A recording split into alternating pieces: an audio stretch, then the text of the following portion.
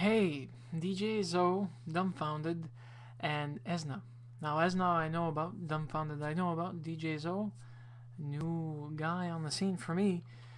The fact that you guys actually incorporated Cowboy Bebop is actually something um, fun. I like the way everything meshed with the actual storyline in the background.